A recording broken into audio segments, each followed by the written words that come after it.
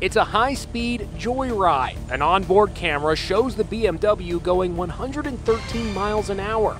But the guy behind the wheel isn't the owner. He's a mechanic who was supposed to be taking the car out for a simple little test drive. I was furious when I first saw this. The car's owner, Mason Berger, tells Jim Moret he dropped his BMW convertible at a repair shop outside Seattle for routine engine work.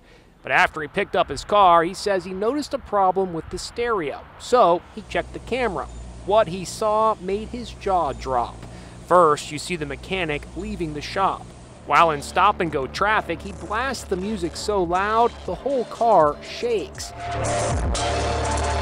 After running two red lights, he hits the highway. That's when the speedometer reaches the astonishing speed of 113. An hour and a half after leaving the shop, the mechanic pulls back into the parking lot. He glances back at the car and heads inside like nothing happened. When you saw what happened on that dash cam, how did you feel? I felt violated. I had trusted them to do the job and do the job well, and it doesn't look like that's what happened. He thought he could get away with it. After seeing the video, the repair shop owner put the mechanic on two months' leave without pay. What was your reaction when you saw these dash cam clips?